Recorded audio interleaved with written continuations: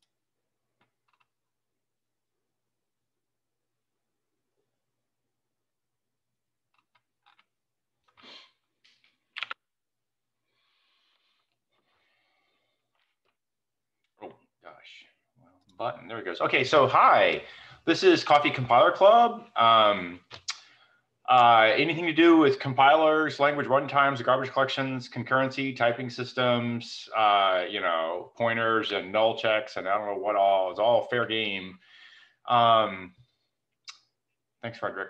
Uh, and, and, you're being recorded, and in theory, it goes up on YouTube within a day or two. And if you don't like that, bail out now. And I ask you to mute your mic when you're not talking so we don't have, you know, 15, 20 people all have background noise. I reserve the right to moderate, never had to do it. Uh, that's it. That's my starting spiel. And after that, we're, we're fair game for whatever anyone wants to talk about. Um, I have a, a little bit of, of news that showed up in YouTube channel comments, which I don't get if they get a wide read. And that's, um, let's see, Matt Brown did a bunch of uh, uh, survey work on uh, SIMD instructions that were generated and used and found they were uh, under 1%. Um, you know, this is a sort of modern optimizing compiler on some, I think, Linux version of OS. And I think that the easy, and then he had further comments. So it was very hard to both generate them and have them get used in a meaningful way. That's been my experience as well. The, the usual story is you're out of memory bandwidth. And, and back in the day in high, high performance computing, we'd call it the, the memory compute balance you had more memory, you had more more compute available than you had memory bandwidth available. So you didn't need anything special to get it. You just need to get it in from memory, and then you could do whatever you how you wanted with generic instructions. Um, we talked about short basic block lengths and, and like generic junk Java code. The typical basic block length is four or five ops. Uh, and it's five if you're using a memory op to double as a null pointer exception, check. And otherwise it's like four, and then you have a branch. So they're really tiny basic blocks, and that's just you know the nature of compute for the last 20 years has been do a little tiny bit of testing something and that lets you test a little more and test a little more and test a little more and after a long time you do a meaningful change involving like a store and you change your memory state or something otherwise you're just doing tests of, of what's going on to diagnose the situation before you can do anything. So using SIMD instructions are hard or Linux? No, using SIMD instructions is a symptomatic of the, you got more memory bandwidth and, and you need complicated compute, not simple. Like SIMD ops says, I'm doing a whole lot of the same thing to a lot of stuff. And as soon as I said a lot of stuff, I ran out of memory bandwidth. So it didn't matter if I was doing the same thing or different. So it's like there are codecs for which it works and makes sense because you have a lot more compute for like video compression, audio compression, but the sort of normal everyday, what I call generic junk Java code, generic junk C code, you don't need you don't need anything fancy. Normally structuring structuring the code to use the SIMD instructions is hard, more hard. And if, if they're, like you said, if they're much of repetitive work, it's easy to structure the code in the SIMD. But otherwise, it's become mm, hard. Yeah, right. Yeah, Java, Java uh, C2 will omit them, but the amount of hoops you have to jump through is pretty damn huge. Um, and can you rely to emit them uh, consistently? we we we don't admit them unless we think they'll they'll work which is a very narrow set of circumstances so when the code gets emitted it will probably fire off correctly and and, and use them that they'll, that'll actually happen because you get profiling you know the loop trip count like you have to profile the loop know the trip count's big enough or you shouldn't bother uh, it's, it's legit if it's the, the digits, maybe it's easier, but uh, because if you are co compiling in a binary, you have to emit both the code, both the SIMD code and the normal code. The JIT can roll back just. Right. We emit both anyhow, typically anyhow, because you do a um, short trip count test. You do range checks, which also amounts to short trip count tests on either end of the loop. You have to align the loop to cache line boundaries typically to be worth it. So there's a pre-loop that does any iterations less than like eight for your short and also, you know, aligns and also does underflow checks. and if your loop is short, you ran the pre-loop anyhow and you were done. And if it was longer, then you got into the main loop and you had to go like four or eight iterations in the main loop before it paid off so yeah, there's a lot of a uh, lot of barriers to making it functionally useful. And then and then like I said before, you're, you're still out of bandwidth. If you're really long, you're just out of bandwidth. So your, your data has to be small enough to fit in some layer of cache hierarchy, be repeated so the cache does something useful. Do the same thing so that you can run a SIMD op on it. Da, da, da, da, da, da, da, the time you jump through all the hoops, you know, maybe. Lately, I have uh, seen that uh, uh, some guys try to perform parsing with SIMD, like uh, integer parsing and double parsing, which is considerably harder. Yeah. Parsing? And uh, double parsing from string with yeah. SIMD oh, instructions and integer parsing. Yeah, uh, yeah, there was a guy, a professor at some university. I will throw a link there. He, yeah, yeah, but he open source his work. Right, but but how the, the deal with parsing is you typically touch once so you're you're out of memory bandwidth. That, that's also true, but you, he wants to try to yeah, try to push the parsing as fast as possible. Right. Oh, H2O will do, you know, terabyte CSV file parsing where we'll typically run your your disks at their max disk bandwidth, and that's your stock. But if you can hit from OS caches, it'll run your OS cache bandwidth. I can parse giant CSV files in parallel at something ludicrous like like uh, you know two gigs, three gigs a second. Um, but that only comes out of your out of your OS caches because that's you know faster than your disk will spend. In the link I shared, they're yeah. claiming they're parsing at one gigabit per second uh, from the file. From right, file.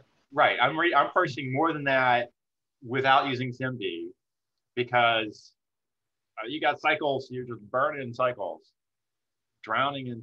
This might be single threaded. I'm doing parallel, so you know. Yeah, it's in on one machine. It's on one no, no, no. One, one machine parallel. I'm getting th- those numbers. You scale numbers by count of machine because everyone's got their own bandwidth. Yeah, I don't know. Yeah, it could be. We certainly, you know, eat CSV files, and that's parsing. Kirk, you're you're screen and your background are doing crazy things. There you go. And your sound, I see your mouth moving and no sound. Yeah. Sorry, I was just cleaning my screen, so just ignore me for a minute. Ah, okay, that makes more sense. Because I was laying it flat so the liquid wouldn't roll in unwanted places. And you poured liquid on your screen. Why? Oh, never mind. Uh, well, because it's, uh, I don't know. Shit, don't worry about it. Because it's easier to clean it that way. Oh, you actually put water on. Oh my goodness. No, not water, Well, but just like a like a glass cleaner. Yeah, something. Yeah. But but I've already had enough liquid accidents this morning, so I don't want any more. Okay. Don't uh, don't let's not talk about that. Sorry to disrupt. Continue. I'm listening. Uh, we were continuing a short conversation about basic block length and generic junk Java code and the value of SIMD ops. And that Mm. was all I had on that thread. Someone wanted to ask something or carry on something or I um don't have any other real news. I set aside my my SQL hacking and I'm back to doing AA things. Which which ended up with me being able to run TPCH queries on an H2O instance as fast or faster than the fastest known databases, although I'm not a database, so I don't have any, you know, I get to take a bunch of shortcuts maybe that are cheaty. Um, but I, I Does that get- assume the whole data set fits in memory? uh, yes, this assumes the whole data set fits in memory. Otherwise, you're at the same speed as everyone's disk is. Yeah, absolutely. Is Um, Does okay. So I mean, I don't want to switch topics too badly, but um, I'm going to make an attempt anyways. Um, does anyone uh, have any idea or what the state of uh, value types or what they currently call them are now in Java, in Java? Think speaking of uh, memory efficiency, data structure type things. I do not. I'm hoping somebody else will chime in. the inline type support, there's a couple of JEPs that were opened in the last, I don't know, six months about uh, defining what the inline types look like. And I think the definition for the inline types themselves is pretty stable. Um, the next major piece being focused on right now is how to handle generics over these specialized types. So it's a lot of uh, investigation into um, class specialization and how to do that properly. I'll see if I can dig up a, a link for a second. Yeah, I was actually hoping that we would be seeing something significant by JDK 17, but it, I, it would appear now that that's simply not going to happen, which means really it's only 23 when we're going to see something that might make a difference, right? Oh, what's the cadence of the releases now? Well, it's six months, every six months, but the so you know, the, but people tend to focus on LTS or the long-term support, which is like every three years. Okay. and uh, which means that you know stuff gets dumped in every uh, every six months.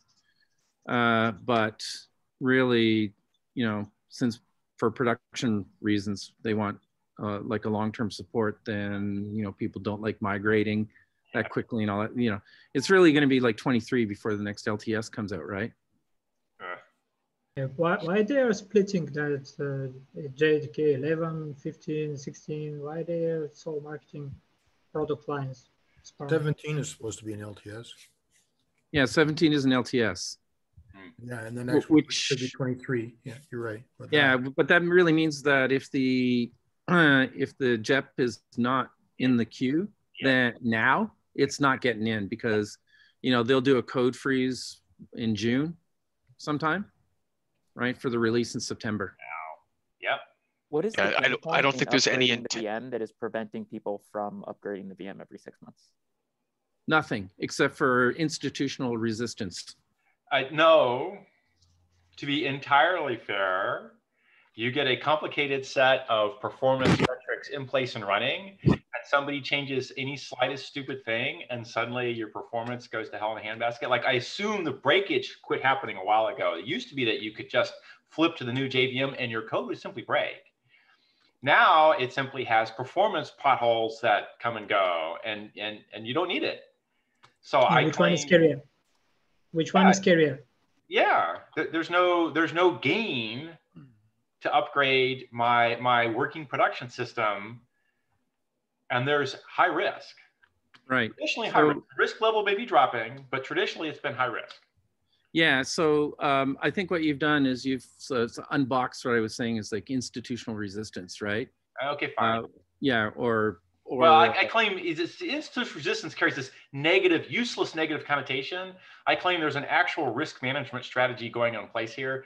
Yeah, sure. I mean, but that's part of the resistance, Okay. right? That's there's institutionalized and everything like that. I mean, risk Right. management is, I mean, it, it it's for sure it's it's a real issue, like you said. It's like you know, um, I, I mean, what was the biggest problem getting eight to eleven or eight to nine was really, it. I mean, the code change, nah, you know, it's you know, a little bit here and there, but not that big a deal. It was all of the breaking infra, the things it did that broke all of the infrastructure.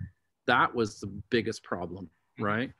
Um, I think it was probably even a bigger problem than um, being held back because frameworks weren't um, migrating. Well, the frameworks mi- weren't migrating because they were suffering from the same problems also. Yeah, right. It Exactly. was like you just broke everybody's infrastructure, and um, but I Well, I think the Python 2 to 3 transition taught us that even tiny code changes can be very expensive. Yeah. Yeah, but they were not tiny. That was- yeah, yeah. Python Python was a hard break. Lots of lots of shit broke. and it and it's a dynamic language, so You, you found times ten. yeah, you found the Time- times. Alright, Yeah. Okay. Yeah, when you're making money, and suddenly, what Yeah. what happened? Right. Yeah, it kind of sucked because I thought the changes were good, but boy, they, they I don't know. But I had the other issues with the Python community, and they're not not willing to make a change. They made a change from two to three, but didn't make a change to let them do a JIT.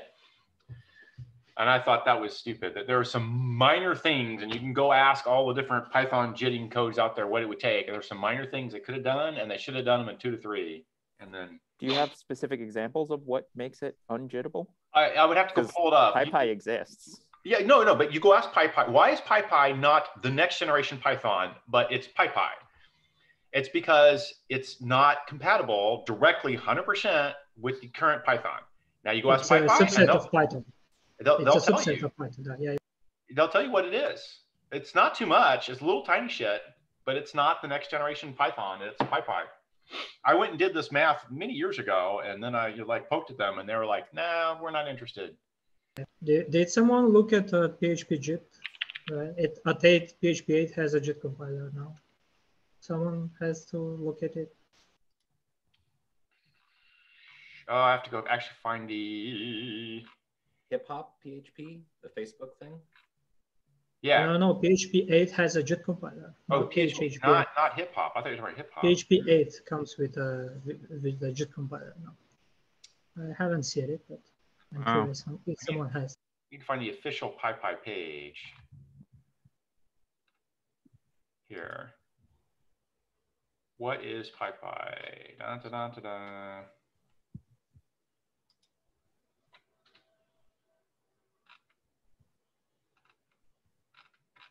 Here's the the um here's the the Python compatibility from PyPy. I'll throw that in the link here.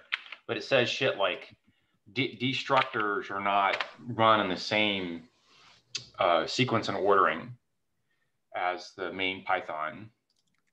Uh, they can be delayed indefinitely. Makes a lot of sense.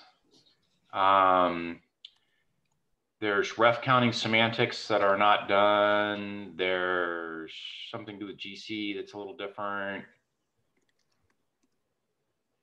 I won't. I won't read it all now.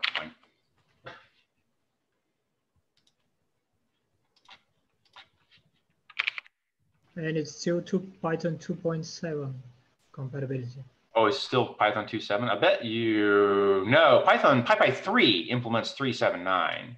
Yeah, yeah, just saw it. there. Oh, and it's been released and they're saying weasel words. It's a large language and quite possible a few things are missing. That's a common way of saying it's in beta or whatever you want to call it. It's an early release.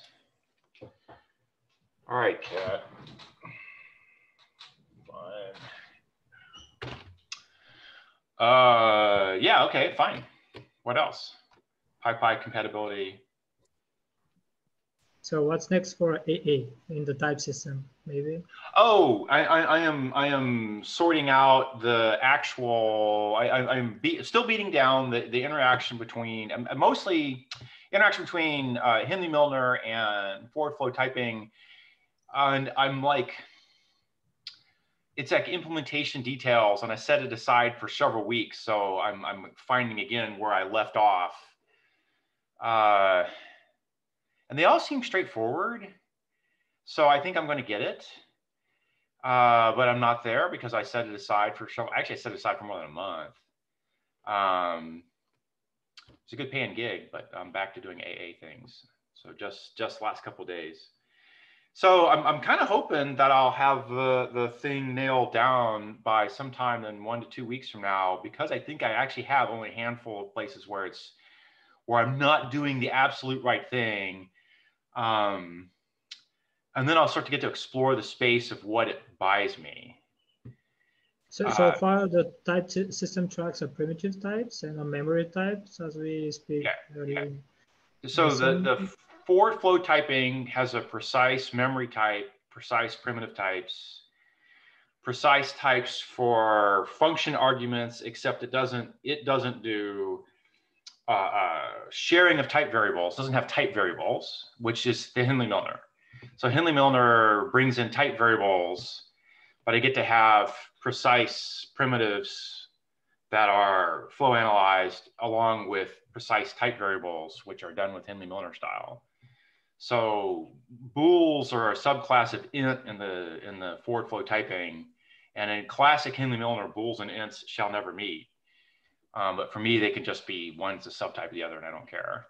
So, Same for so they can implicitly convert uh, without the user. There, there is no distinction between them in the lattice system. It's ambiguous. So your bool is just an int one. Yes. Like C++.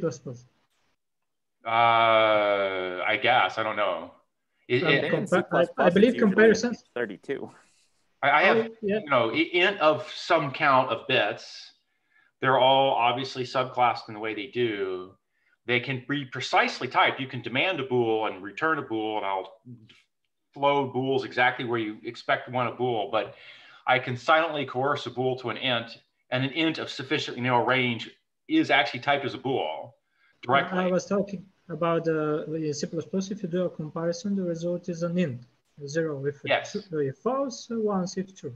Yes. So so I, I do that coercion because I like that style.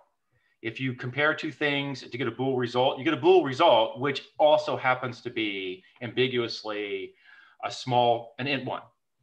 I believe it lends to a more performant code, but just uh, this is just my opinion. If it's uh, it bool is an int. It, it, yeah, it, it well it leaves always the optimizer, like in Java, bool is a separate type from int. But the conversions from bool to hardware instructions, which compare ints only, is like completely sort of perfectly done. And should be perfectly done by pretty much any compiler. So I don't think there's any performance cost, but there is a, a, an extra bit of code I end up writing kind of often happens where I say bool question mark zero colon one, right? And I don't have to do that no more right? That, that's such a point. coincidence. I have dealt I, have dealt recently with this, and the point is to compare to compile it to a CMOV, to a conditional move, and not to a branch. Yeah, I'm not I'm not right. So CMOVs in in hotspot are pulled out by looking at the structure of the things, and they don't have anything to do with bool or int. If I see a comparison, you know, and it was converted to an int first or it didn't, then it's all it all washes out in the same. That's the optimizer under the hood. But if I'm writing a thing like I'm doing a hash and you have a value or you don't, then the hash value is zero or one. I write that kind of stupid thing. It just shows up, you know, half a dozen times, whatever. It's, it's, it's in the code all over the place. Not huge, but it's there. So I just like, nah, it's just a int. I don't care. I'm going to treat it like an int anyhow. It's going to type it. If I say I want a bool, I want to pass a bool and take a bool, I can totally type it that way. And then that's fine. But it silently is also an int. So I was wondering in AA, have you thought about how you deal with the interface between unsafe code and safe code? I've thought about it and I haven't gotten too far. I want to be able to do sort of like OS level work, so I have to play the unsafe game. Um, you know, Rust done a bunch of work there. Java kind of got it, did it first and did it a little clunky because they were first. So like there's a better answer, but I don't have a great answer. The, yeah, you want to have some kind of runtime type checking when you go from unsafe code back into safe land. But right. So, well, the, the, there's another thing I want to be able to say the following code is known to have no unsafe. So I can type it as like I'm, I'm running a server. I'm taking generic code over the over the line. I'm reading bytes from the internet and I'm executing them. I will type it as a type that has no unsafe bits in it. So there's that aspect um, as opposed to hiding unsafe from you, which you know Java like hides the unsafe from you, except that you can get at it too easily, and so it's not really hidden. You know, that for every key there's a every lock there's a key, and you just unlock all the locks, and you got the unsafe. Now you break security, and so your Java server can be you know toastified anytime you want. Um, so I want to have a type that says no unsafe. I want to have, therefore, there's a lexical scope that says unsafe happens here and exits here.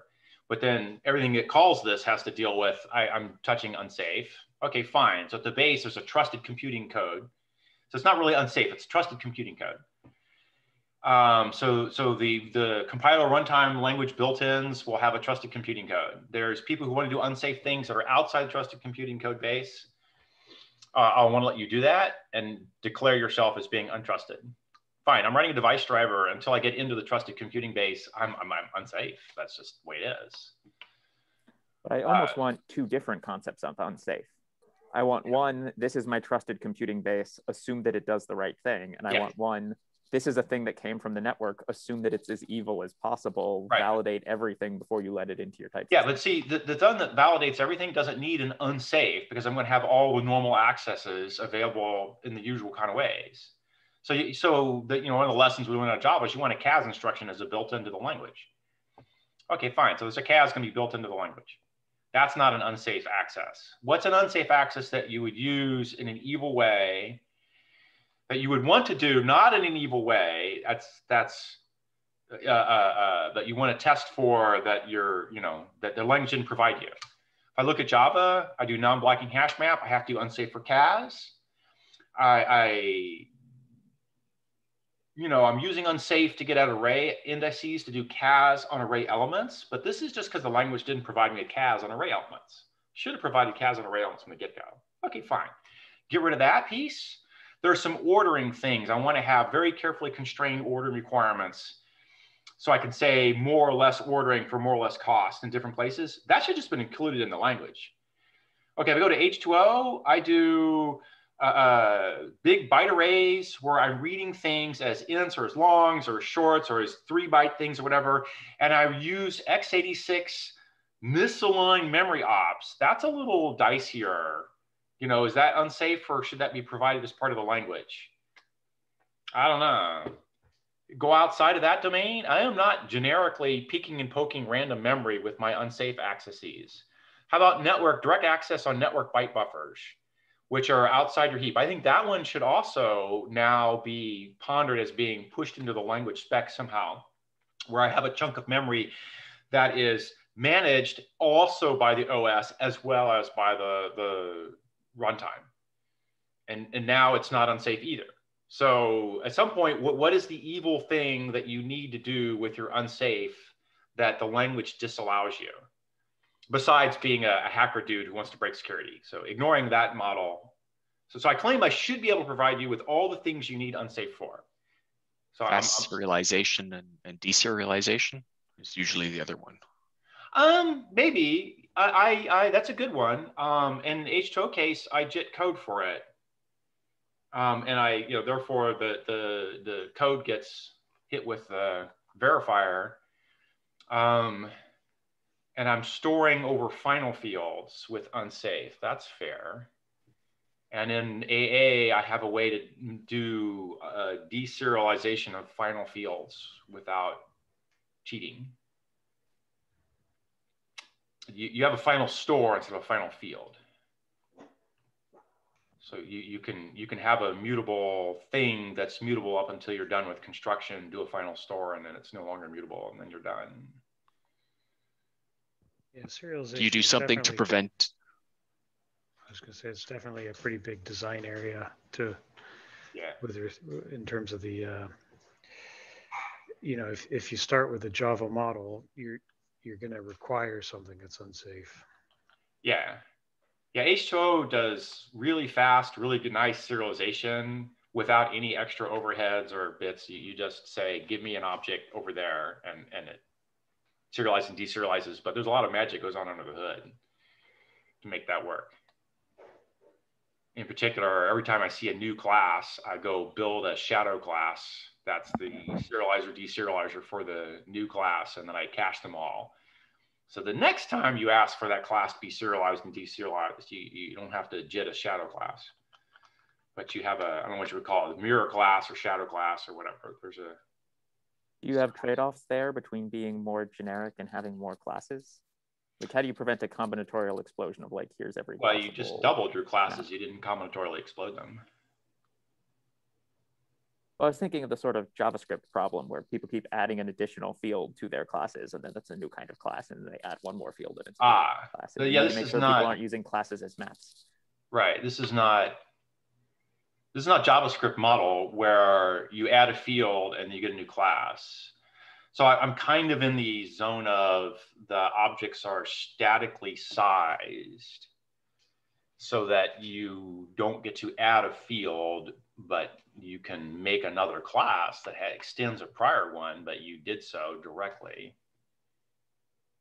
And you could argue that the JavaScript model of add a field has some power to it and you want to do it.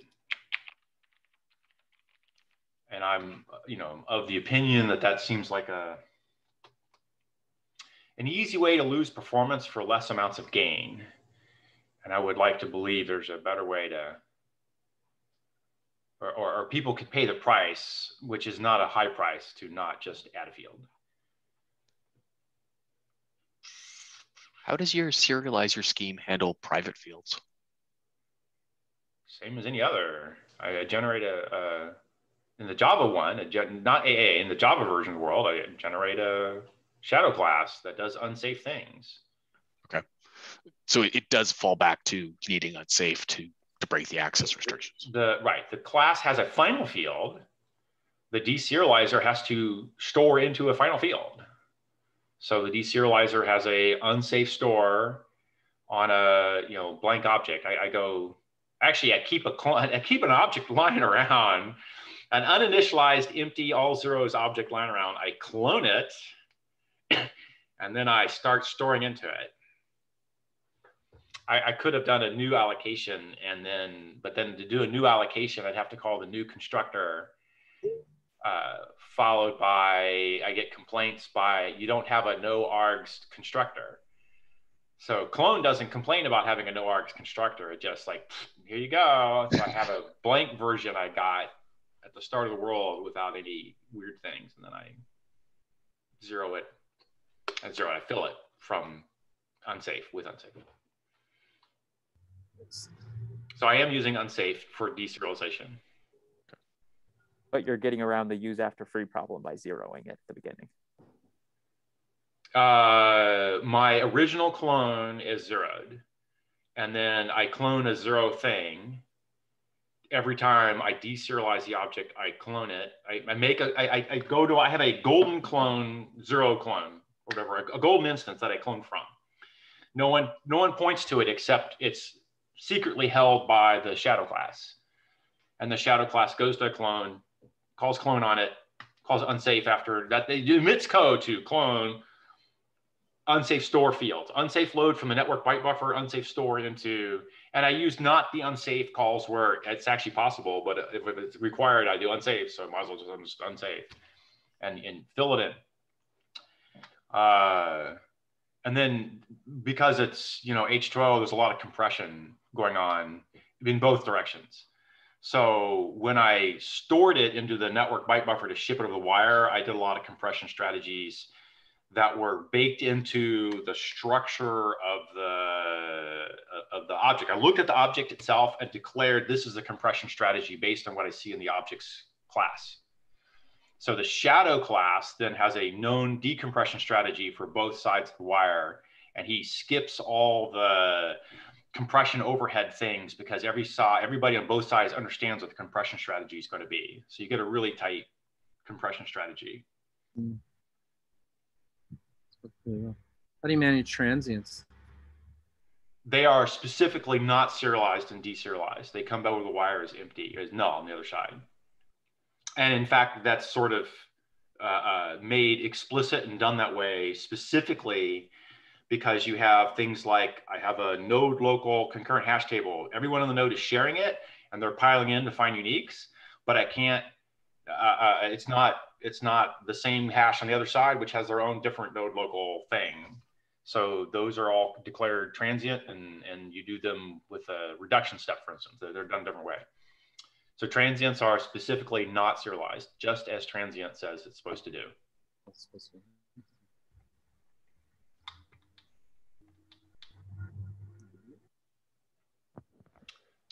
Yeah, we have a uh, constructor that takes the structure of the object and that gets around all of the annoyances of trying to poke in private fields. You have a and, you have a generic make me an ins- make me this uh, reflection version that says make me an object of this class.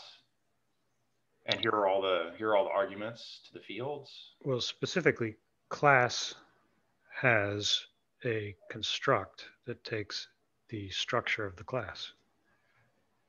I, I would have said if I name structure meaning what do you mean by structure? Yeah, exactly. I have a person class. Mm-hmm. That is the structure of the class. No. Okay. That's the class. Yes.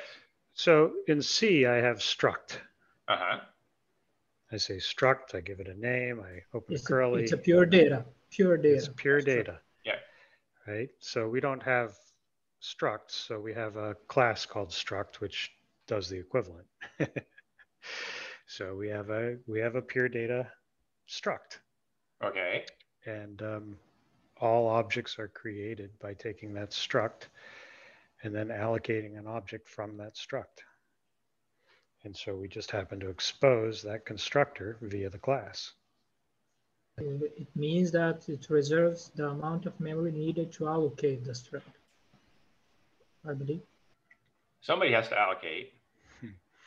Well, generally speaking, the struct is the object, but that's not surfaced in the language. So you can't see that optimization that's actually happening behind the scenes. So when you're when you're called to construct a class, yeah. so the constructor itself is handed a this, but it's not a this object, it's a this struct. How, how do you, how, I got you. And actually, I'm doing something very similar in AA now that you've said that that way. Cool the constructor for a, a person will take uh, uh, an object who has the same fields, names, and layouts as a person and will add a person tag onto it. Uh, or you, know, you get a couple default constructors and you can ask for more and get rid of some, whatever. The default constructors are take a thing that has all the fields of a person and add a person tag to it or here's all the fields of a person and I will under the hood allocate that very struct and fill all the fields in and put the person tag on it. Right. Those so tags exist in the headers of the object or is there a vtable? No, I'm going to need a vtable. I'm not to implementation, but I, in, I, intend to support subtyping because I can do something similar to subtyping in the lattice theory. So subtyping in, a, in, in Hindley Milner uh, but I'm going to need a vtable. And for us, the private, public, protected is just different vtables. Right. But if I started with, if I handed you the struct, then I have an instance of the struct, same as a string problem, right? I have an instance that I can go do horrible things with anytime I want, right? Yeah, but we have immutability as a first class citizen, so that's not oh, a problem. Oh, you, you're saying I'll take an immutable struct, which well, gets around, can, private, but doesn't let me change it. I have an immutable struct that has public access to everything because I made it, and, but I know what's in it. Maybe it doesn't So matter. if oh, the, Yeah. if the object is immutable and you get the struct for the object, then you have an immutable struct. So you cannot use struct to get around immutability. No, I was wondering if you use struct to get around privacy, but not yet. So, excuse me. So um, you can't.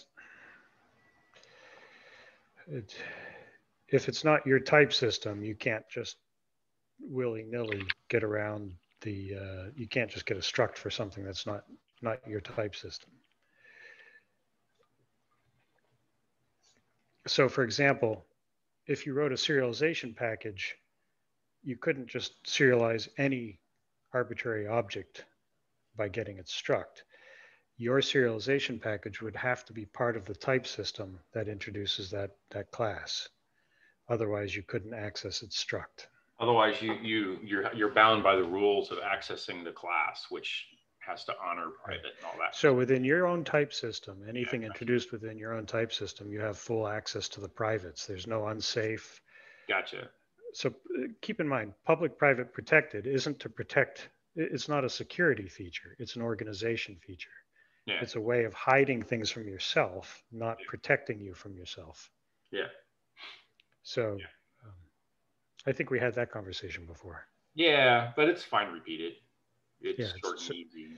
Good. So private is not a security feature. Anyone who uses private as a security feature, do not ever use their software because it is by definition insecure. yeah, because it's not scary. Yeah, it's fine. Okay. Right. Right. Okay. Fair enough. Fair enough. All right. That makes some sense. So, um, so when But we you do have to construction, store secrets in memory somewhere. say again. You do have to store secrets in memory somewhere. The, the, Who is you though? That's the that's the question. Who is you? When you say you have to s- store secrets in memory, who's you? There's lots of yous. Yeah. Just because you store secrets in memory doesn't mean that you, the other you, can see the you's secrets, right? Hmm. So so But the Yeah. point is how you hide it from the other use. yeah. He's saying don't use private to hide your secrets. right. There's some other way to hide secrets that needs to be figured out. And private is not. So there has to be some domain, some some surface Yeah. behind which you cannot see. yeah. right? So, what is the what Yeah. is the complexity in a language of providing that opacity, right? That's the question. If you're in a pure functional language, things in a closure are hidden from everyone else. Right. And, and the, the borders or what are exposed or whatever your function will take as an argument and return as a result. And all things inside are hidden. Scala has some tricks that with macros you can extract uh, the, uh, the parameters captured by the closure. You you're you can certainly break you can certainly arrange for that model to be broken. But if you're looking at a pure lambda calculus like the straight out of math and no no implementation you're just out of math you can't get at the guts. Okay now if i have an implementation all implementations can start by saying you can't get at the guts but they could also break that and say i allow you to get at with you know java reflection can get at the guts. Yeah, but, but, but lambda calculus is more of a substitution thing. They're it by a substitution uh, principle. The object-oriented programming language has a more features in it, and has to make some compromises between them, between the how you hide these things. Yeah, yeah. I, I'm, I'm just saying you were, Cameron was asking for what is the surface, the language manifest that you can use to truly hide the, the, the secret key, right? And I was throwing out, hey, if we went to pure, pure lambda calculus, it starts with a very small interface with a complete hiding of the insides. Is that a useful programming language? Well, no one ever writes in pure lambda calculus. Okay, so now you have to expand, right? So go to Scheme. Well, Scheme's actually still pretty pure and probably does okay. Go to Scala. Well, Scala has all kind of holes, independent of using like the JVM unsafe to break into things. Scala's got a lot of holes all by itself. So what's the Such right? as, such as one hole might be. I think you just told me one. mm, The, the main Yeah. hole for me, in my opinion, is that the incredible complexity means that I cannot verify there ain't no other holes. but maybe there's not. Okay. you, you can call me to task on that one. Uh, by the way, I did watch the, uh, I don't know if any of you have seen his presentation uh, on types from 2013. I just watched it this week. Oh my God, he's such a good speaker. The Martin guy. Yes, brilliant, freaking brilliant. He's a good guy. Let me see if I can find the link while you're talking. I'll post it. Yeah, Unbelievably I believe he's very capable. Yeah. Oh, Yeah, very- Very much so. I he love- has done uh, Java generics, I think. I believe that the basis that become Java C. Yeah, he was still there at the time, but I think it was mainly Josh Bloch. I yeah, I thought it was Josh Bloch that did that, uh, but it, probably Martin chimed in. I, I imagine those two went back and forth a bunch. There was a lot of chiming in, if I recall correctly. Uh, I can believe it. Yeah, But they had a tough call to make to backwardsly fit generics into the JVM. Well, they implemented it both ways. I don't know think there were if you several- They actually uh, was a language designed called Pizza. That was the precursor for the Java generics. Yeah. Yeah, yeah. That was the precursor for Scala. yeah, yeah. Java with pattern matching almost, and the generics, I believe. God, I remember Josh being chased by I don't know whom. It was like it was almost like he needed bodyguards at Java one one year Yeah, because yeah. the generic thing. Yeah, yeah. Type erasure was pissing off some people, Oh, big Like- time. but they had some serious problems they had to choose between, and I, I think he made a reasonable call. And you could reasonably argue it should have gone the other way, but that's a, that's a that's a passion point for a lot of folks. Actually, Really wound up. I did write an editorial on the subject uh, for Java Developers Journal, like when that was a thing years ago. Yeah, you And, a uh, link in. Yeah, I think it was the one of the few editorials that they actually made money on by releasing all the articles on Amazon for resale. Strangely enough. okay. Uh, excellent. I am not looking at this YouTube video right now, Cameron. But yes, thank you for the link. Yeah. Uh, and, and, and actually, Flavio threw out like a totally reasonable thing here, which was uh, uh, uh, tracking effects. Because we were just talking about, you know, immutable and not the immutable, and I guess there's hiding for security versus hiding from yourself, and and and and then there's not being immutable. And okay, let me go look at this guy because I'm doing some kind of effects tracking with my final field thing. Um, let me pull. Yeah, I think it, it's very interesting because you end up like uh, there's this intersection between tracking unsafe codes or tracking things that are like null or defined. And these are all things that can be mapped to an effect system. So I think it's an interesting way of handling uh, those aspects of the language. including non-termination. Yeah, you can, depending on the effect system, yes, you can track that. This is an, the blog post I, I shared is of a language that has a total effect. Uh, that is basically saying that it terminates uh, regardless of the inputs. Yeah, I'm just looking at somebody who's doing. How can we, how they deal with recursion? For example, Agda, uh, if you do a recursion in Agda, it, the compiler has to know that the recursion somehow Terminates. um, terminates. Yeah, uh, it becomes smaller and smaller and smaller and smaller. That. Agda Right. uh, assumes that will terminate. I was just reading yesterday some guy doing, I want to say this is not the right blog post, but it's close. Doing algebraic subtyping, but one of the conversations was like we're tracking termination and pure versus whatever. And what they did said was we will approximate termination by claiming that we can recognize in the compiler that your recursion is reducing at every step. And therefore it will terminate eventually. But if we cannot tell that it's reducing, then we'll we'll type it the other way. And, and in order to make a usable type system for a user who can add annotations or rely on Hindley Milner style typing, the rules for which we recognize it's shrinking are fixed and stated ahead of time and well understood.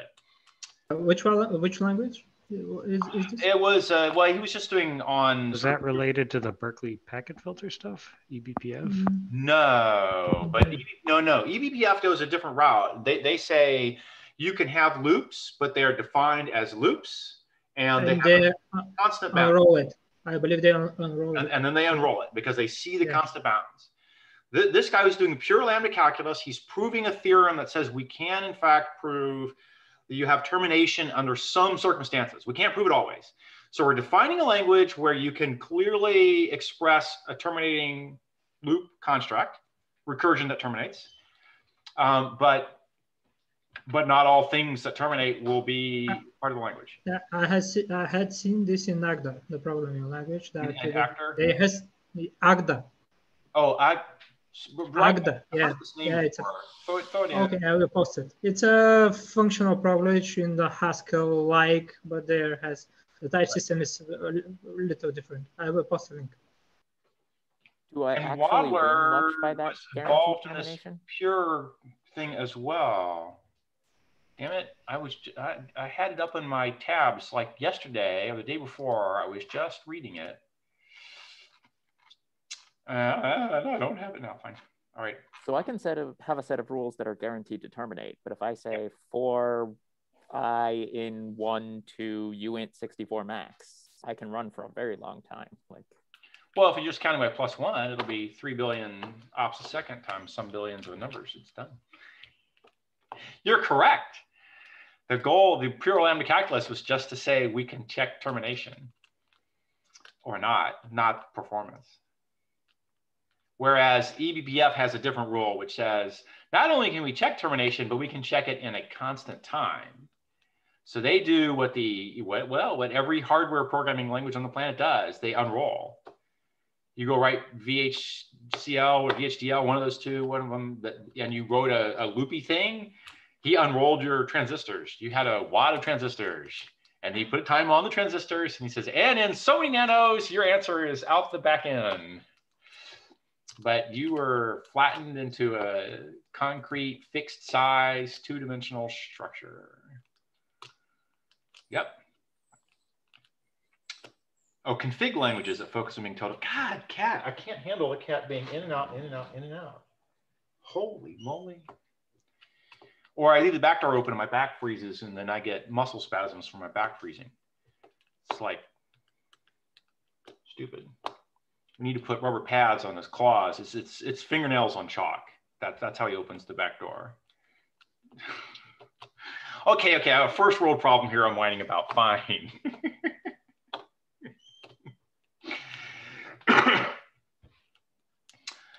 uh, fine.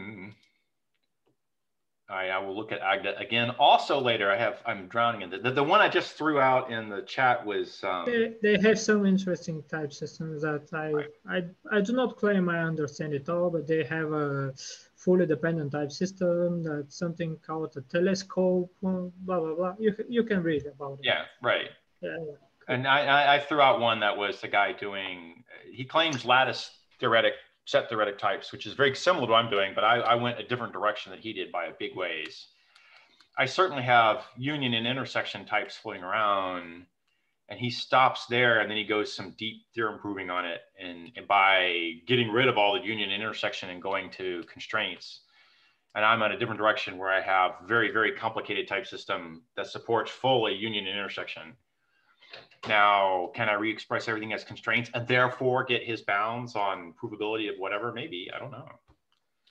So that's my that's my homework problem for this week. So you you in the AA language you'll be able to express unions and some types as a core construct of the language. I, I am I am going back and forth on whether it's worth the trouble.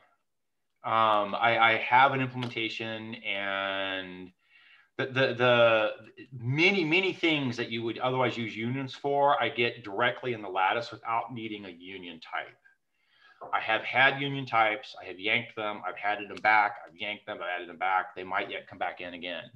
They're at the What- moment out. What will be some? What will be a problem that embedding, uh, supporting the lattice, supporting the generics? Uh, what uh, problems you might stumble upon? For generics or union Yeah. types? Uh, generics, generics. I believe. Th- th- They're different. Yeah, I know they're different. I Okay, just so so the um, thing that I, I don't get out of the lattice is I don't get type variables, which let me express a constraint that you get on like a map call.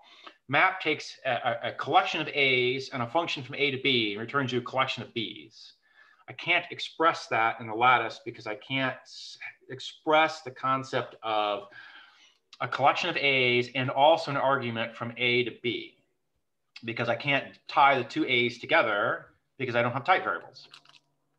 So I can take a collection of int and a function from int to string I can get a collection of concrete thing and a, and a function from concrete thing to concrete thing. And I will specialize the map call and get those types done. But I have to specialize it every time, right?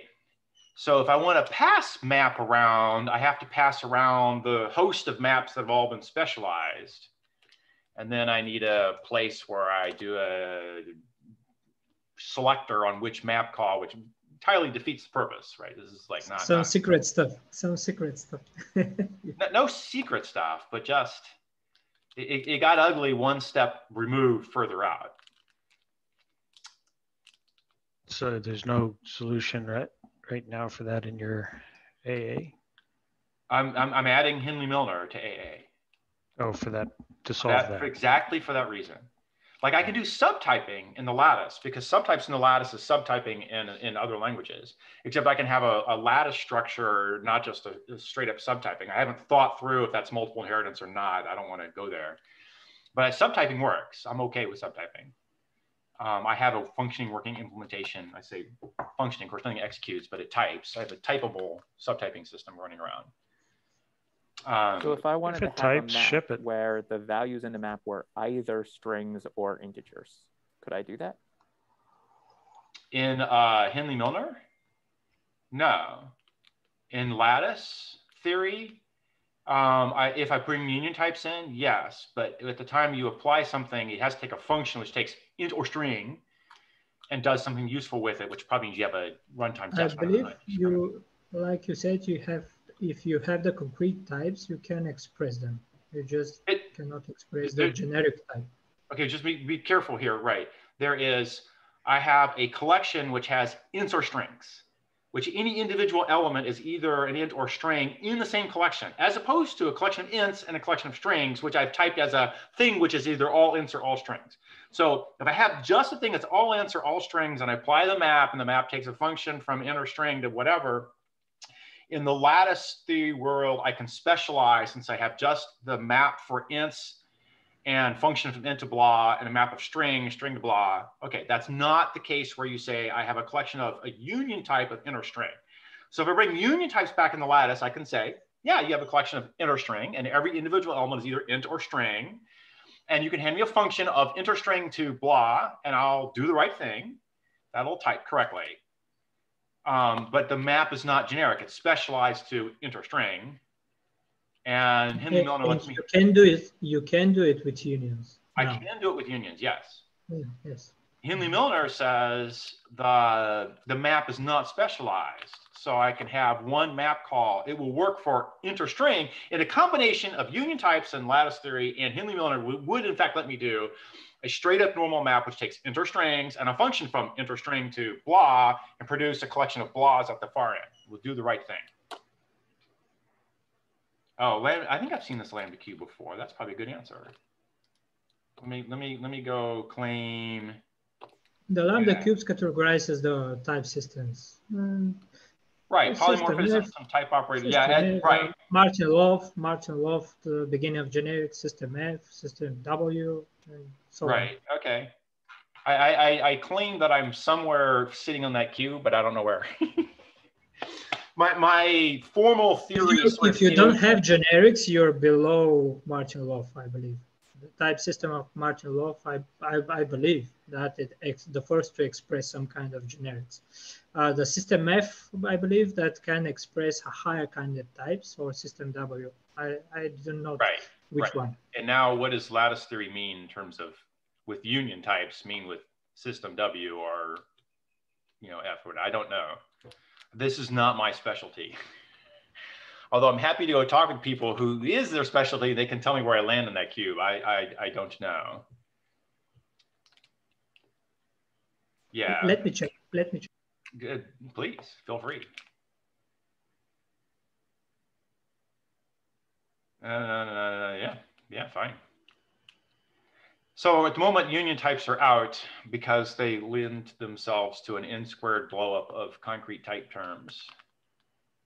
Um, and I keep going back and forth because they're very convenient for doing various kinds of simple overloading. I haven't, I haven't nailed it down yet. If it's worth like like small count of union types, I'll just pay the n squared cost where n is two or three, and I, I won't care and it'll blow up a little bit and be fine. But the general union types can lead to very large type expressions. Also, I do recursive types, cyclic types, um, which Hindley Milner gives up on right away. You, you say that AA uh, doesn't have a polymorphism yet. I, I don't have well, when you, what do you mean by polymorphism? Let's make sure. I don't have type variables. Yes, yes. That's uh, so. I'm, I'm to me, and I'm according to me, and I'm not, and I, I don't claim. I, yeah. Okay. Fine. We're just we're simply type lambda calculus. We're at the bottom of the line with. Right. Yeah. Right. Right. Yeah. Except my types are a hell of a lot more complicated than the usual simply typed lambda calculus. So I don't know if that makes a difference or not. Like if it's simply types, but simple types include unions of int and string, is that simple type still? I, I, don't, know. I don't know. Just like I said, you will, you will able to express more uh, complicated things with union types. Yeah, right. And I can get subtyping with the lattice theory as well. And is that still simply typed? I, I don't know. I know Hindley Milner will not do subtyping because there's some horrible horrible issue you have there. I read that. Yeah, I, I read that they cannot express uh, subtyping. Right, and the, the link I threw out was some guy saying we can do subtyping, except he has a very simple notion of subtypes.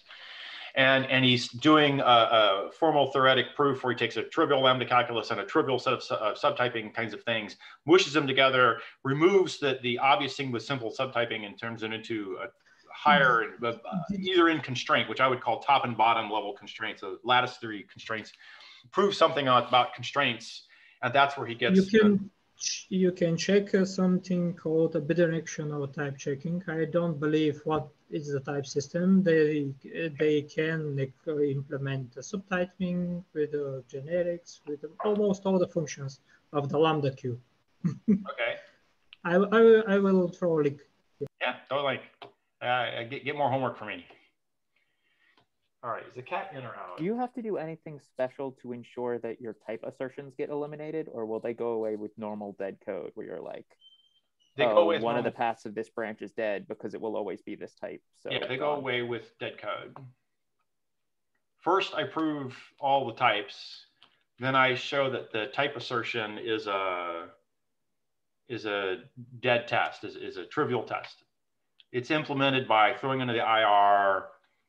If not the type that you asked for, fail the compilation with a typing error. And then I just prove types until I have a trivial if test that's trivially false, I throw it away without any further ado. Is there a way to get that information out of the compiler if I wanted to do something like what, what color the text in my editor based on whether the assertion got removed or not?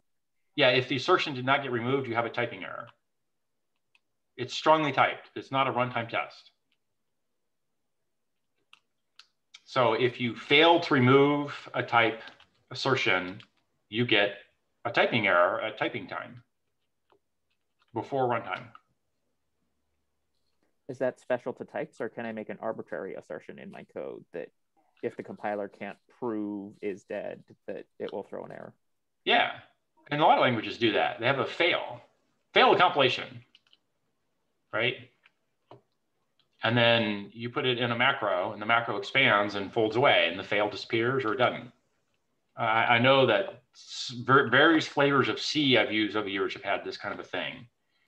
So this so is fail is as simple as if this piece of code isn't dead, the compilation has failed, and then you put it in any arbitrary if that you like because it's just yeah. a piece of code. Yeah, yeah. I, I want to say uh, C++ templates do this. Um, some C macro flavors I've used to do this. Like, like if you put a fail uh, uh, special form, it's a special syntactic form basically. in the language and the compiler runs across it, the obvious thing is you just fail immediately with a fail. If you use macros, then it never appeared or did according to how the macro expansion went. So you get your typing done by the macro expansion went the right way or it didn't. But if you're um, acting like Java and you're compiling at runtime, that has no Java doesn't assert. Again. Java asserts are, are like C asserts. This is a runtime test that if executed will fail or what does what the test does. And the, the test is strongly guaranteed to be removed if the assertion is turned off but it doesn't tell you that the assertion, if it's in there, got folded away by the compiler or not. And it's a runtime test, maybe it's in there. So you do not have in Java a way to say, here's a complicated thing, tell me if it's true or false at compile time. You're either in or out of the language typing system, so you get a type error, or because a lot of a lot of things that compiler can prove won't happen, he proves using runtime information that is not available at typing time. You've never made a subclass of class X ever since the VM started. Therefore, this test will always fail and I can throw it away or whatever. It's always dead. I can toss it. And this is true up until you load a subtype of X and then I have to blow up and try again. So, so it right. assumes the was most. that it would be convenient Sorry. in a world like that to have something in your language that says confa- fail at build time, essentially. Yeah. So even though at runtime I instantiated that class, the fact that I instantiated that class means this assumption no longer works. Means that I now have a right. die on build in my code, and you can tell right. me a little bit earlier. Right. See, not I died at runtime, but I died at compile time, even if that right. compile is a JIT event. C, C++ have this. AA has this. The, there is a programming language called Jai that also has a compile time evaluation. It's a it's not open source, but uh, it's this is uh, Jonathan Blow's. Yes, yes, yes. It has a, a pretty cool ideas, I think. Throw the link. Oh, okay, compile, sure. time, compile time only annotation. So Scala has an annotation for this for the behavior you're looking for. Yeah. So you're saying, give me an arbitrary expression, the compiler proves it, some very early point. In, in the case of Java, JITting time has a lot more information than at javac time. You're asking for at javac blow up. Yeah, I just want to know as early as possible. Yeah. If you can tell me at static ahead of time time, great. If you can't, but you can tell me at JIT time, great. If you what? can't, but you can tell me at runtime, great. If right, you yeah. fail utterly and the thing just has incorrect right. behavior, that's not so great. So the the some of the languages have it at ahead of time compilation, and everybody has it at runtime as an assertion, and very few people have it at JIT time. I don't know if anyone has it at JIT time, which is an interesting breakpoint. And yeah, we call time, that we call that link. We call it linking link time. time. Yeah, it's not a bad way to do it. Link time. Yeah. So, because comp- we we refer to compilation as compilation from source to IR. Link time is the closure over the type system, at which time you can yeah you can prove many more things. Yeah, yeah, it's true. The, the Java JIT is a little bit later and can prove more things, but you have tiers of JITting this could your, your test could be not provable by compiler one by tier one and yes provable by tier two. And now it's, it's both later and earlier in a sense because in the java jit case you still haven't discovered the type system. Yeah so you're talking linking as a complete closed world binary. Yeah java does incremental linking. Right. he's always and he's never closes he's always incrementally adding more link time things. Yes yes so in that sense, it's halfway into the linking step, but you're only ever halfway into the linking yes. step. There's yet universe yet to discover. Yet to discover. Right, but it gets you the potential to reject a link if you have some kind of JIT time assertion, you'd say, add this yeah. class to my world. Yeah. And then I hit a thing and that was required to be dead but wasn't dead. And I go, no, I'm not going to add this class yeah, to my yeah. world. The class you're trying to add to my world breaks my assertions. Right. No. I, am I'm totally good with the usefulness of this concept. I'm just claiming it doesn't currently exist in any known big common implementation. Maybe there are some pieces, some funny languages that do it. I concur that the macros uh, run uh, compile time macros, as we say it in Scala, is a pretty powerful feature, and uh, any new language should consider having. I'm, I'm trying to do with AAs to not need compile time macros. Yeah, my argument is macros were great in assembly, they were great in C, and beyond that, they're evil. So yeah, but, but in C, but in C, more string string based, the the type system cannot participate too much in the macros. I'm sorry, I should have added Lisp. Lisp yeah, as well. I'll take Rust and Lisp's macros over C's macros. I agree, I agree. I, I have trouble reasoning about what C macros are going to do, including like include. They were they were they were painful. Lisp macros. I, I mean, and long term coding, understanding what the hell's going on after you did macros or why you were doing macros. That was tough. Now I also see people who do like um, quoted code, right? Here's a, here's an eval expression, except I have holes I'm going to fill in. Now, is that a macro? Maybe. Is it typable up to the limit of what you fill in the holes? Maybe. Is it a coding style that I want to encourage? I don't know. I'm doing something vaguely similar in H2O deserializer code where I basically have a here's a pile of serialization code, except I have to fill in all the class for names. I have to fill in all the field names. Uh, is that a macro? Mm -mm Was it useful? Well, yeah. Was it difficult to understand after the fact? A little bit. Deserializer had a very narrow set of things. I've seen people do funny games like query expansion for SQL after the query plan turned into here's a wad of boilerplate when we fill in query bits and then we pop it off as a pile of code and go JIT it. And, JSON uh, serializer is a very good candidate for. There you go. Yes. Yes. Absolutely. And I look at the serializers you get out of Elm for JSON deserializing, and they are a pain in the butt to understand and use. They have some sort of elegance in the in the theory and design, but the actual use of them is pain in the neck. Just not not obvious. Fine.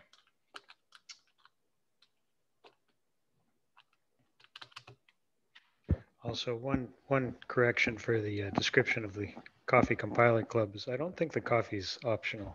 It should be mandatory. Um, well, some days we're a little faster moving and some days a little slower. And I always finish my coffee within the first 15 minutes because I sat down an hour ago. Oh,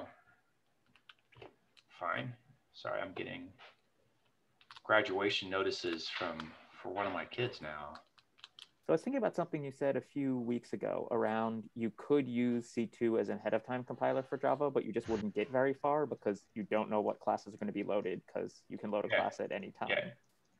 Yeah, Do you, you think it make... makes sense for a language to distinguish different times and say, oh, language. when I have a new module, I'm going to have a essentially compile time thing that I call and an init time thing that I call, and then a main and say, you might want to call just the import parts of all the modules and try and find a large amount of the code that's going to get imported.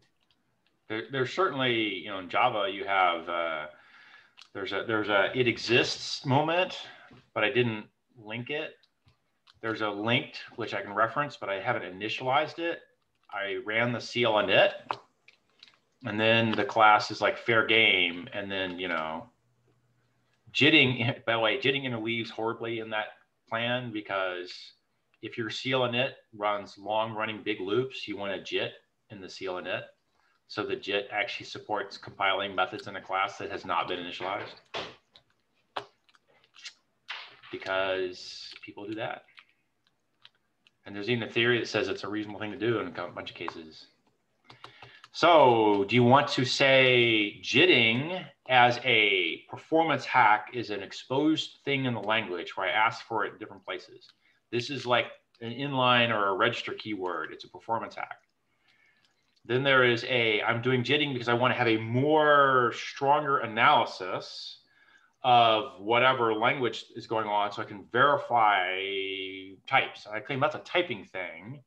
And that should be part of your typing system and not not separable. It's like modules invoke typing at some point when I load the module for the first time. And you know, Cameron's world, he has a closed type system. He, he that's the point at which you declare, I know something about types.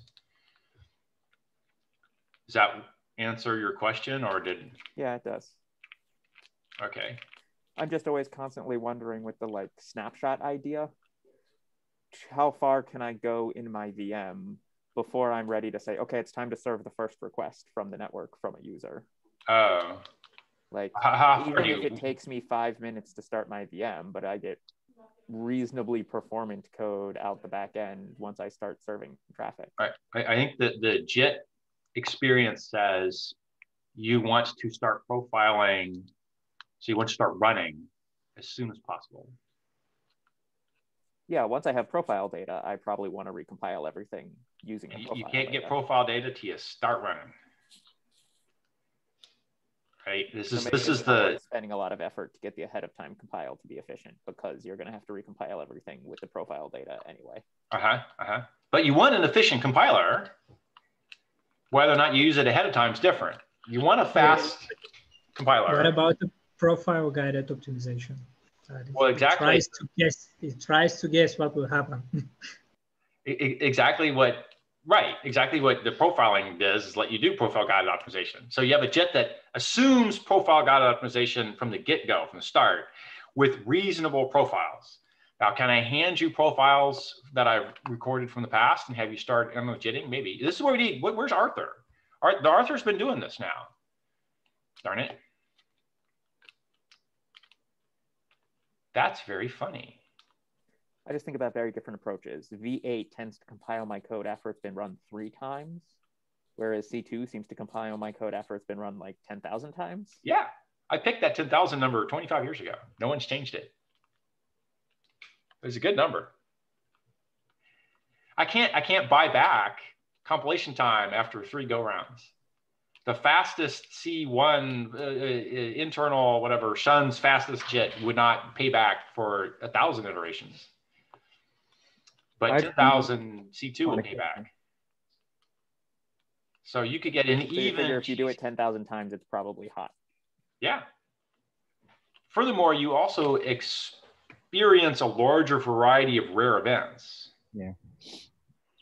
So the JIT can see the most complete picture it can. See, sees a more complete picture. Yeah, yeah. Once you do the heavyweight JIT, do you stop counting things? Or is there still a sense of like, The heavyweight JIT does not, in its last tier, does not emit counters.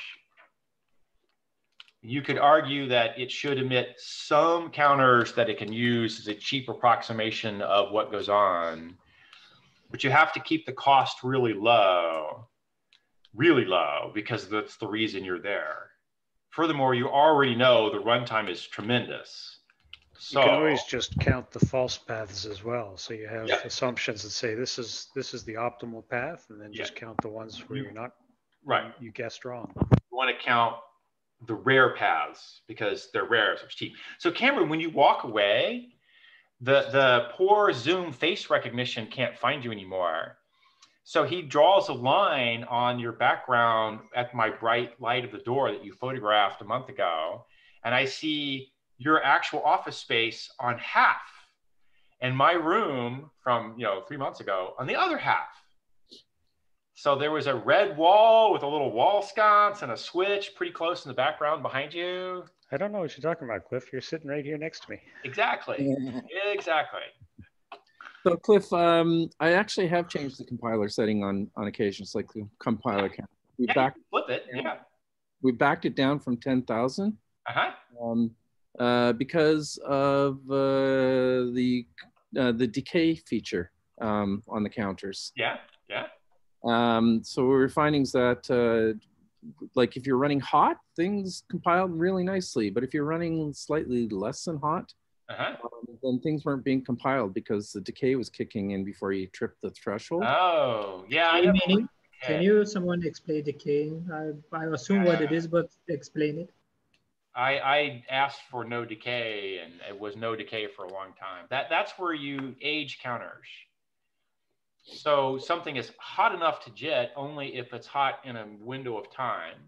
If you don't decay, then the counts ever accumulate and you end up jitting almost everything that ever executes eventually, which I claim is actually sliding.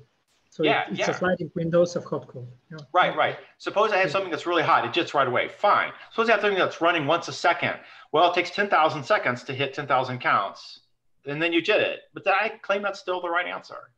I would claim it's the right answer also. So we've either turned decay off or or lowered the thresholds in a number of occasions where you have like uh, like main deployments and satellite deployments, and you're seeing like slowness in the satellite deployments because uh, you know the the compiler's just not kicking in. Yeah, Uh, because of decay. Yeah, yeah, yeah. Yeah, I I claim I, I claim no decay. Yeah, you don't get a scale down. Oh, sorry, sorry. Go ahead. Yeah, I was going to say that you don't get a scale down uh, effect with uh, with the decay. Yeah, so it's like every 30 seconds they check a handful of counters, and if you've gone past, I forget what the threshold is now. I haven't looked at it in a while, but when you go past that threshold, then they'll knock the counter value by half, Mhm, mhm. Uh, which means that you can get almost to 10,000, and then you get cut, and then you get almost to 10,000, then you'll get cut. And, Right. It, it puts a hard threshold on your frequency, and below that frequency, you never get jitted. Yeah, I, I guess in in long running applications, if you have things that are just called infrequently, eventually it will get compiled because of that.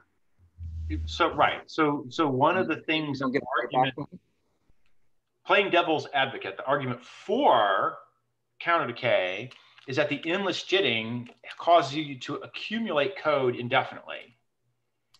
And is that useful? And back in the day, there was actually an issue with managing lifetime of code that was problematic. And life got better via a variety of engineering efforts over time, and managing very large volumes of code is not such a problem anymore. And memories just got bigger. And well, mem- yes. So that was yeah. You, you I didn't have trouble so- running out of memory being held for the JITted code per se. Just like managing the the code, you had to do GC things with it all the time. You had to age it out if it was dead dead. If you want to get rid of a piece of JITted code and you've made the fastest possible path from JITted to JITted code happen, and you're using inline caches, that combination makes it extremely difficult to get rid of code ever. Not impossible, just mm-hmm. very difficult. It is un, unclear, unobvious when it is legal. Like the first thing you do is you say, well, of course, I, I slap a, a, a, a stop me now at the head of the code I think is dead and shouldn't be executed. Okay, fine. Yeah, And I want to claim I, I got rid of it by getting rid of all call sites, including all inline caches, except that I can have Right. loaded the bits in the CPU registers and had the OS take a page fault, flop a guy out, flop him back in the next millennium later, and continue execution. And he'll have already passed the inline cache check and he'll have to go there. So I I have a question. Uh, does the JIT counts uh, per method? Does the JIT counts uh, Oh, on way more method? fine, fine grained than that. Yeah. So see the, the low level, the interpreter only counts back edges and per method. Yeah. The first Well, tier compilation, can- Okay, so oh, go ahead, go ahead. yeah, the I, first, I was asking the question. okay. Oh, I thought you were, where, where's counting happening? Fir- First Yeah, tier, yeah. okay, first tier compilation counts all control flow. So all basic block branches, and you use the, there's a Larus Ball paper from many years ago, optimize your counters. Oh, you optimize your counters a little bit. Because you're doing it in JITted code, you can count efficiently. You cannot count efficiently in the interpreter without being really gruesome. It's ugly in the interpreter. As soon as you do any jitting at all, you can count efficiently. Okay, so you count efficiently in the first tier compilation. Second tier compilation doesn't count except by accident on all paths where he says, and here I die, and therefore I flip to the interpreter and I, I, I will count. And, and usually that's a heroic optimization, and you definitely count the heroic optimization fails. Yeah, my question is that uh, the JIT can some count something like a call graph. Uh, these set of functions are called together so they can be JITted more aggressively together, something like that. When you JIT, you go through a bunch of heuristics to pick the starting point and your inlines. So it's a method sized JIT. You always trigger a compilation at some leaf function, a, a fucking getter. the interpreter is counting getters just like any other method. So he counted a getter, the getter flipped. Okay, you don't want to JIT a getter. You want to JIT where the getter inlines into. So you walk the call stack looking for a frequency break in the execution of methods. And you say, okay, this is a good point. So I start here. Now I want to inline down to the getter I came from. Plus I want to inline people according to frequency. And you, you, you do a frequency expansion. You take the, the most hottest thing and inline it, and then what he inlines, and you keep a work list until you decide you have enough stuff. And then you, you go to town. That was for the state before I left. Okay. Sorry. So it has some kind of heuristic to expand the window, what window to catch of the execution to yeah. how the oh. Yeah, it's called inlining. Yeah. Oh. Yeah, called inlining. Yeah. And, yeah, and inlining's gotten more sophisticated since I left because yeah. I knew at the time it wasn't the right thing. You, you want to do a better thing where you inline during the optimizer because the optimizer can come to a point that says, and here, this vcall went to several locations and they all have regional counts and I went inline some of them, whatever. But here I proved that in fact, I'm looking at direct byte buffer, not heap byte buffer. And hmm. therefore I want this one guy. Having inline direct byte buffer, I now see immediately different sets of counts and I want to inline again kind of thing, right? There, there's a there's a smarter inlining strategy. And I know it was done at Sun after I left. I know Arthur's been working on it, and I and somebody's just put Flavio put it in here that Graal was doing a thing as well. Yeah, Graal does this quite differently. They do more tracing. So it's like per thread traced rather than stack frame based. Um, yeah, and there's a few other points. The, the, small method, like anything less than six bytecode, gets stripped out pretty quickly. That's like uh, yeah, yeah. T2 has that. uh, 250. The, yeah, the compile threshold is 250. Right. If you're if you're exactly certain patterns like a getters, they're always 100% every time. If yeah. you're under six or under eight, some really small threshold, the threshold is also really tiny. Yeah. But then as you get bigger, we use yeah yeah similar. Does it just duplicate methods, so you have to specialize it if you yeah. can inline? Inlining is exactly duplicating a method. Okay, cool and, and therefore specializing it for the code in question. So the answer is 100%. You may have been asking about uh, generic types or something. Right, right. There's another something. version which says at yes, the, yes, for the generic. At the dispatch yeah. point, I could dispatch to methods that have different signatures that have the same signature but have specialized for different types. Right, this one's taking capital I integer, and this one's taking capital P person, and this one's taking capital blah blah blah blah. blah. That is hmm. not done because it requires the caller to choose a different dispatch. Right. Instead, and that's a we, good one to do, though. That's a huge optimization that's been left on the table. We, because because as you back up the call stack, right? So you're at a million, a million, a million, a million, ten thousand. You're like, fuck, there it is, right? Yeah. So ten thousand to a million. I'm going to take the cost at that point yeah. of manually selecting a a branch path. Yeah. Based on, so it's like I see person, person, person, int, int, int, you know whatever. Uh-huh. so i'm going to i'm going to i'm going to compile down from here specialize for person compile down from here specialize for int and leave a default path for everything else and, and i claim the existing heuristics do that. They do. They do it a different way. that was my question. Thank you. They, they, they go the one step up and said i'm calling from the 10000 to the million. And i look at the set of targets i have and if a set of targets is small, I make a bunch of decisions, including test for person and inline the person piece, test for this and inline this guy. There is breakout uh, an, an, an, instance of tree that then does the runtime test and branches to versions of these things.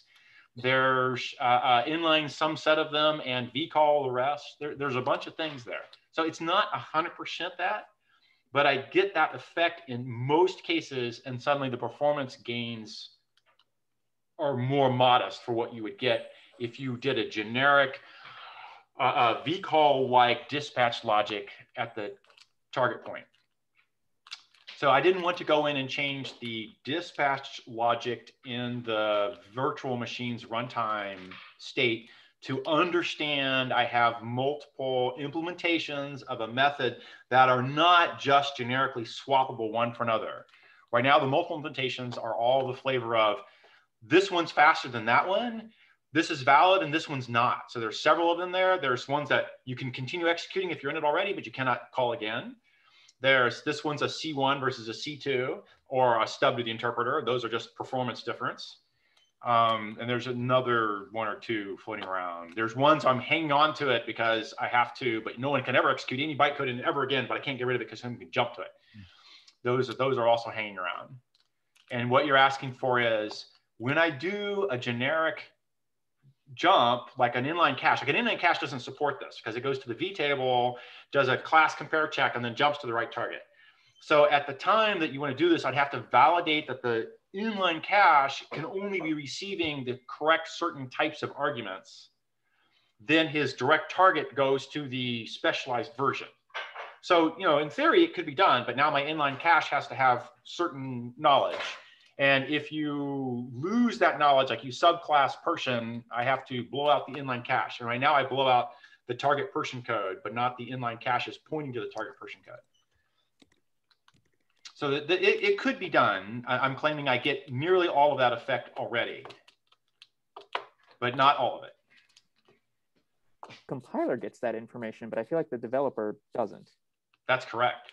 Like I often want some way where I can go ping all of my VMs and say, give me your performance counters in a way that I can map back to source. The so that I can say, Yes. look at this symbol. What types does this symbol become? Is it megamorphic?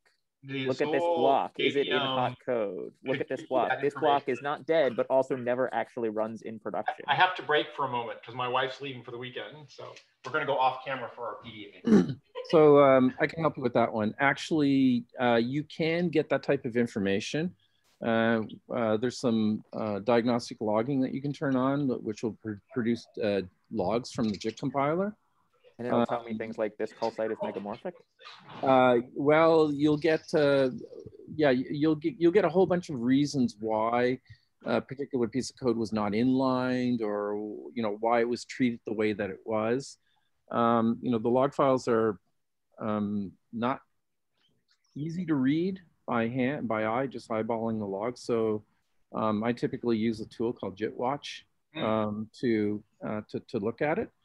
Um, mostly, what I've been focusing on recently is is uh, memory optimization. So what I'd be looking for are, uh, you know, like uh, you get allocation site re, uh, reductions or, or eliminations, and um, and you'd be looking for reasons why you might not get a a, a wanted uh, allocation site reduction. Uh, or But, some, but you have to guess it. Uh, you said you'd use some JIT profile. You have Well, to you guess actually- it. Why. You, It you would be cool to to guess. just call me this site. Is it meg megamorphic or no? Yeah, but you don't have to guess. It'll it, it'll come in and it, it'll it'll tell you, right? That you know that it, that your your polymorphic uh, call site can't you know there can't be Didn't, didn't inline. yeah, it can't be reduced, Yeah. right? Yeah. So Shouldn't the VM just take care of all that for you and optimize those for you? Yes, Well, that's it- what it's would be doing. better if we had poly, you know Right. like polymorphic inlining, but um, um, somebody's got to do the work. So I think we had some people working on it or looking at it, but um, uh, that work has not really been it's been dropped and not picked up. So, so Can the, it give me information like which basic blocks are responsible for what percentage of Yeah. the branch mispredicts or cache Yes. misses or cache contests? yeah, the Azul that AVM information is in there. could totally do that back in the day. And they switched to a Falcon. I don't know if they're going to have it, but I had a freaking browser interface on a JVM, and all those performance counters came out. And they came out nicely annotated and lumped in with the code and everything else. Yeah, So I you don't. what basic block? What's a basic block after you've done 15 layers of inlining?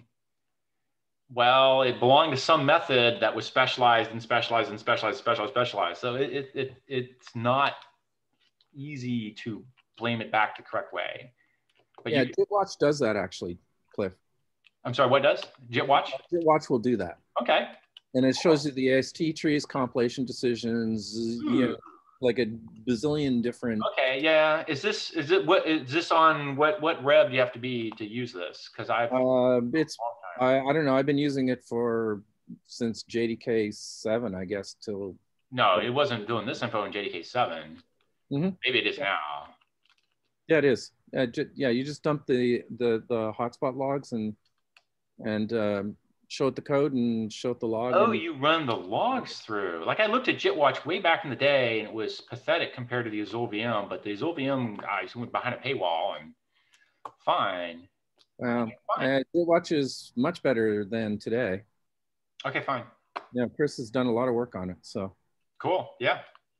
Yeah, all that information, I mean, JVM has it. So what I heard Cameron say is you should optimize it. The JIT should optimize. And yes, but when it doesn't, what do you do? For the same reason we have inline and register keywords back in C code, right? You know, yeah. you should, but you don't. So what the hell do you do? Oh, go get, yes. Good luck. Boy, my I got hammered for my vaccine, but it's done. I got the Johnson one and done. Oh God. It, it, still with us. It, it hammered the shit out of me for 24 hours, and then and then I'm done. I got my first shot. Did you have week. a slight fever? Did you have a slight fever? I had fevers and chills. I well, I rarely ever get sick. Like literally every five years, I get sick one day in five years. Okay.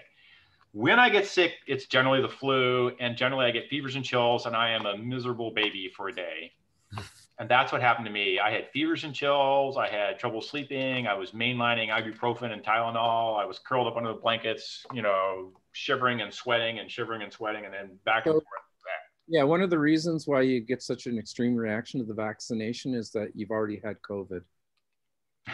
Maybe.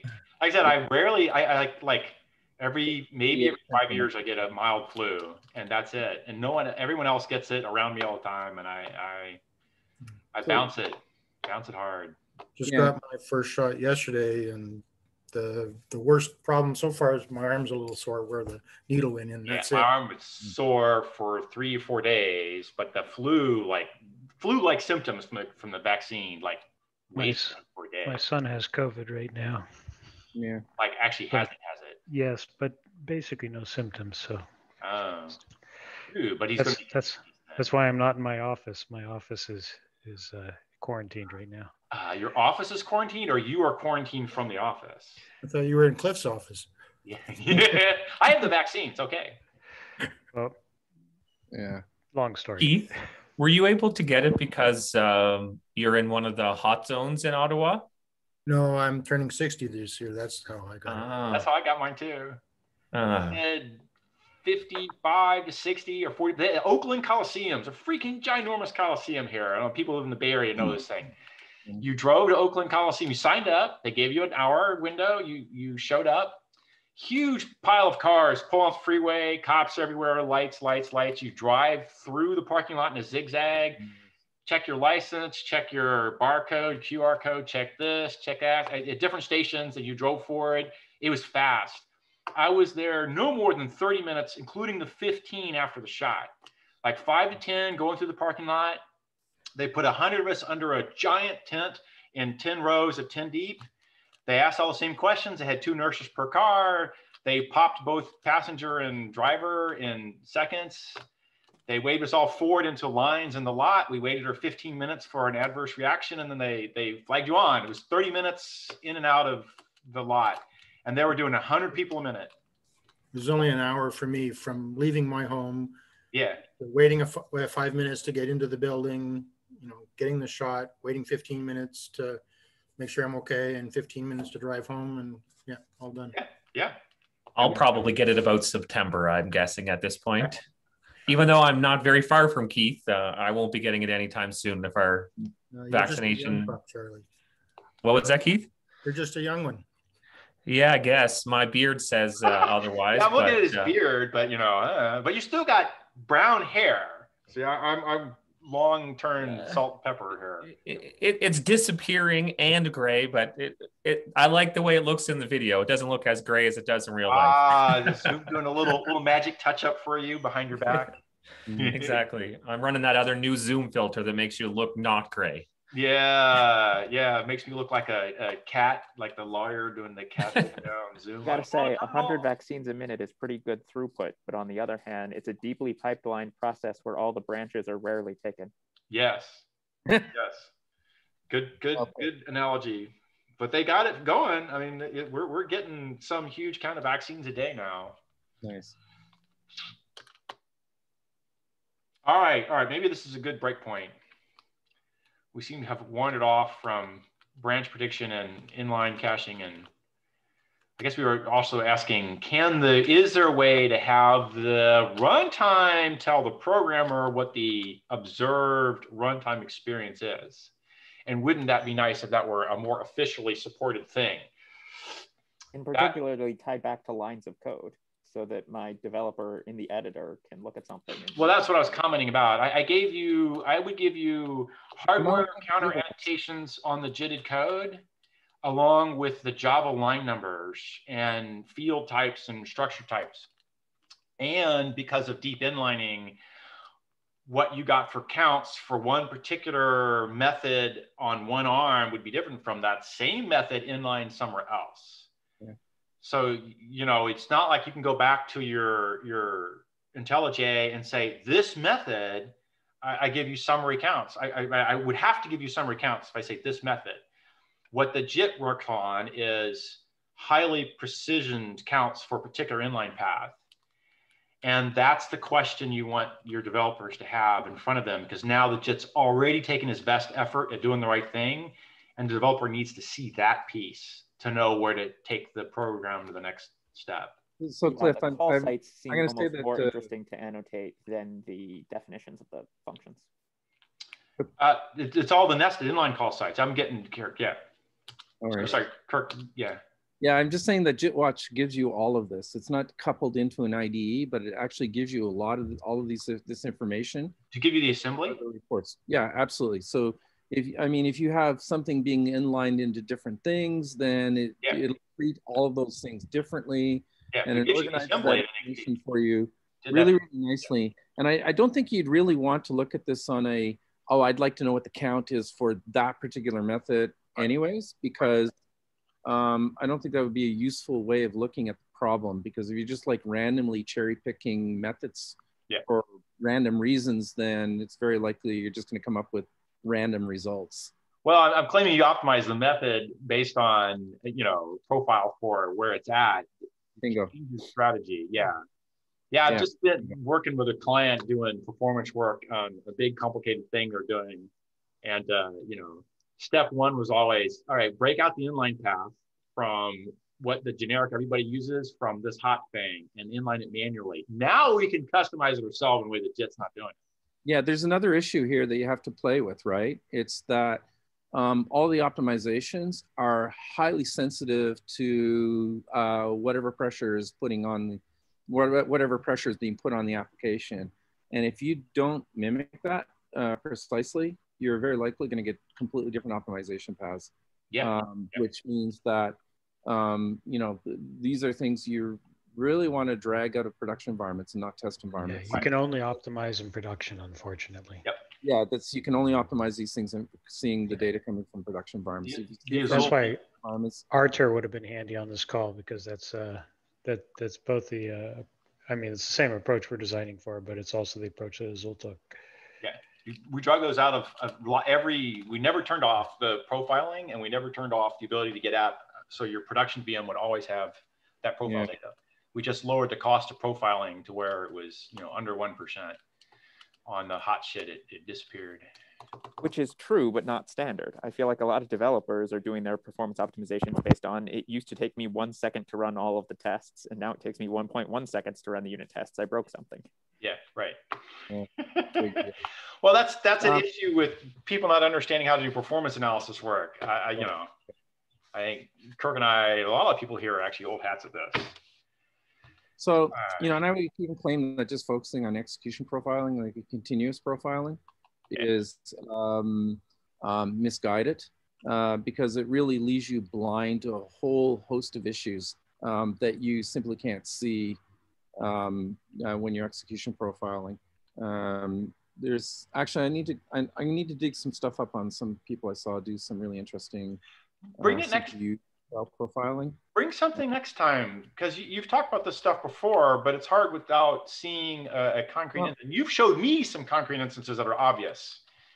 Right. Well, I mean, like okay, so one of the common patterns you see evolving today because of microservices architecture is what I call a revolving door which means like I'm in and out on a service, bang, really fast. It's just uh, bang, bang, bang, bang through, right? So very, very small units of work being executed by um, uh, by service. And the fun part of all of that is that um, the bottleneck in that system turns out to be the thread scheduler. Yeah. And then like people pack because they can't, uh, you know, to like basically burn more CPU. Uh, but because you're now being throttled by the thread scheduler, it means like you're idling cores because of that. People think, oh, well, I'm only using like 30%, 40% core. I can like pack more in here, like pack them up, right? They don't realize that, you know, what they're doing is they're just adding pressure onto the thread scheduler, which is like further slowing everything down. You're dying from from context switch costs. So I'll add more unrelated right. Yeah, you, you basically, yeah, you basically have exhausted uh, like each of the cores that has a like a work queue schedule can like blow through it like yeah quick very quickly and then it's idled waiting for the thread scheduler to catch up to it yeah. and that's because you know people who use microservices should be shot um, uh, let's not go that far. But they have, but they have money and they're willing to pay consultants. So, so don't say. Oh, oh, I see. I'm sorry. Gotcha. Right. And of course, from I mean, Amazon's point of view, you're just burning cores. So yeah, it's all good. Right. Yeah. But okay. So this problem is like, like trivial to see. You can see it within about 15, 20 seconds of getting your eyes onto the yeah. system. Right. Um, it's trivial, but um, you'll never see it with an execution profiler. Right. Yeah. I totally agree. Never. Never. Because no, I mean my analogy here is like you're like a you know you know like a I don't know like a square rigger, right? Without just throwing rope and knotted rope into the sea, measuring how fast you're going, not really realizing you're on a Gulf Stream. Uh, yeah, yeah, yeah. So you're not visible to the things that are happening. You know that you like you're in this thing. You can see what's happening within that context, but there's a greater context that right. you completely miss. And you, yeah. Yeah. Eventually, those sailors figured that out, but it, it took them a while. Right. Well, you know. you cross the Atlantic one side north and south, and the other side the other way.